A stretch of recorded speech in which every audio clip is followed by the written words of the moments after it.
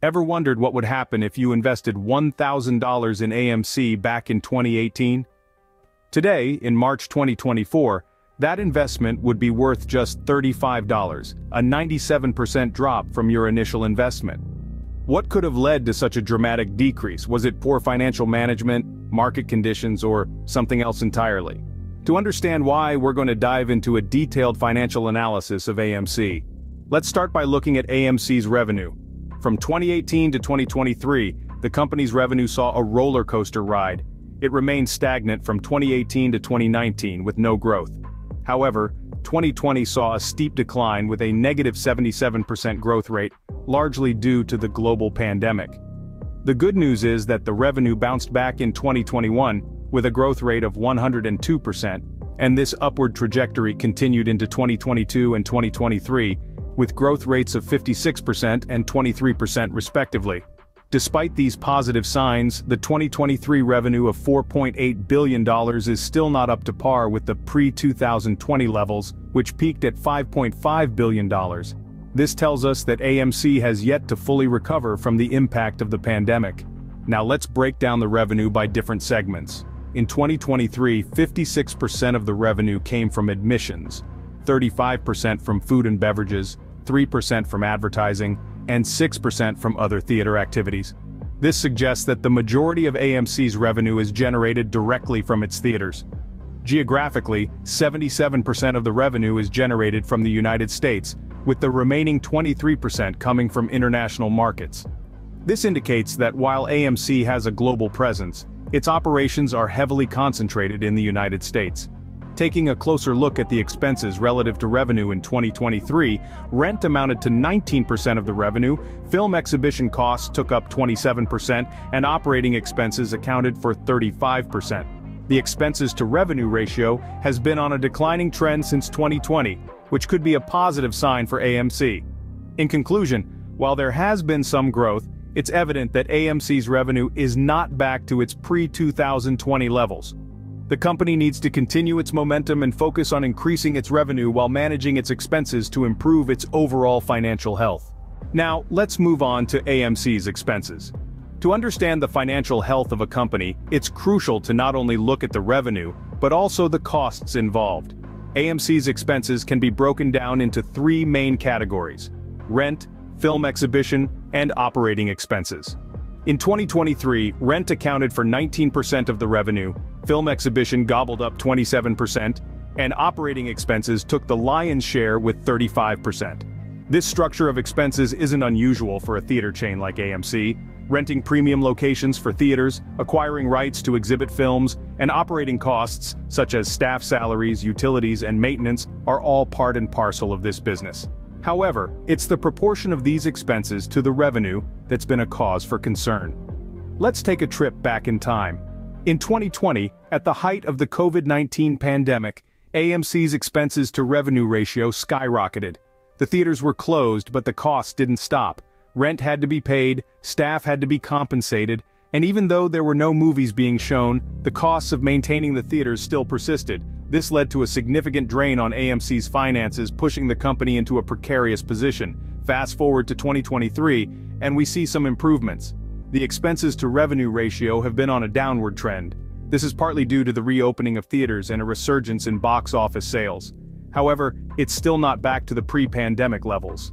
While the company has been working hard to bring down these costs, the fact remains that the expenses are still eating up a significant portion of the revenue. This has been a major factor behind the decrease in AMC's profitability and its struggling stock price. In a nutshell, AMC's financial performance has been significantly impacted by its high expense structure. While efforts are being made to reduce these costs, the road to recovery seems to be a long one. It's clear that AMC's expenses have been a significant drain on their revenue. Let's now consider AMC's profit margins and assets. In assessing a company's financial health, profit margins and assets are two critical factors. So let's dive in. The net profit margin for AMC in 2023 is minus 8%. This figure has been on a downward trend since 2020 when it stood at a staggering minus 371%. In 2021 and 2022 the net profit margin was minus 52% and minus 26% respectively. Although these figures are negative, the consistent reduction in losses is a promising sign. It indicates that AMC is on the right track towards achieving a positive net profit margin, hopefully by 2024. Next, let's look at the net profit, which is another critical measure of profitability. In 2023, AMC's net profit was negative $400 million. Similar to the net profit margin, the net profit has also been decreasing over the years. This again points to an improving financial situation for AMC, with the expectation of positive net profit in 2024. Now let's move on to assets. In 2023, AMC's total assets were $9 billion, slightly down compared to $9.1 billion in 2022. The net assets, on the other hand, stood at negative $1.8 billion in 2023, an improvement from negative $2.6 billion in 2022. Although these figures are less than ideal, the clear trend of improvement in the net assets is a positive sign for AMC.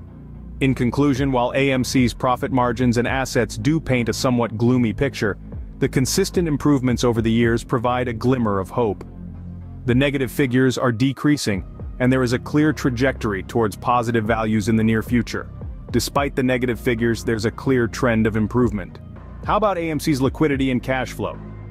Let's dive in. Now, liquidity is a critical measure of a company's ability to meet its short-term obligations. One common measure here is the current ratio, which is calculated by dividing current assets by current liabilities. For AMC the current ratio for the year 2023 stands at 0.75, compared to 0.53 in 2022. A ratio less than 1 suggests that AMC's liquidity isn't quite up to scratch yet, indicating potential difficulty in covering its short-term obligations. We also consider the receivable days, which measures how quickly a company collects payment from its customers. For AMC, the receivable days for 2023 is 15, slightly less than 16 in 2022. This decrease indicates that AMC is collecting payments slightly faster than the previous year, a positive sign for cash flow. Now let's talk about cash flow. Cash flow is the net amount of cash and cash equivalents being transferred in and out of a company. A positive cash flow indicates that a company's liquid assets are increasing, enabling it to settle debts, reinvest in its business, return money to shareholders, pay expenses, and provide a buffer against future financial challenges. In 2023, AMC's operating cash flow, the cash generated from its core business operations, stands at negative $0.2 billion. Its free cash flow, the cash a company can generate after required investment to maintain or expand its asset base, is negative $0.4 billion. While these numbers are still negative, they represent an improvement from previous years. This suggests that AMC's cash flow is growing and becoming less negative, which is a hopeful sign. It's important to note that a negative cash flow isn't always a bad thing, as long as the company is investing in its growth. While there's still a way to go, AMC's liquidity and cash flow are clearly improving, and that's a hopeful sign for the future. Finally, let's take a look at AMC's return on equity or ROE through a DuPont analysis. This method breaks down ROE into three components, net profit margin, asset turnover, and equity multiplier. Each of these gives us a unique insight into AMC's financial health. For the year 2023, AMC's ROE was 22%. But don't let that positive figure fool you. The net profit margin stood at negative 8%, and the asset turnover was 0.53. The equity multiplier, which is the ratio of total assets to total equity, was negative 5. Comparing these figures with those of the previous year, 2022, we see some interesting trends. AMC's ROE was higher at 38%. However again, the net profit margin was negative at negative 26%, and the asset turnover was slightly lower at 0.43. The equity multiplier was also negative, at negative 3.5. What does all this mean? Well, the seemingly positive ROE in both years is in fact a result of negative net profit and negative equity. This can be misleading for investors who may interpret a positive ROE as a sign of good financial performance. While the ROE looks positive, it's important for investors to understand the underlying negative figures. In conclusion, while AMC has shown some signs of improvement, there are still significant financial issues that need to be addressed. The company's revenue has grown, but not enough to offset its substantial expenses. Its negative profit margin and net profit along with low liquidity highlight the financial challenges it faces. However the decreasing losses and improving cash flow do provide a glimmer of hope. Don't forget to subscribe to our channel to get the latest videos and please comment the companies you want us to analyze next. We will cover them in our upcoming videos.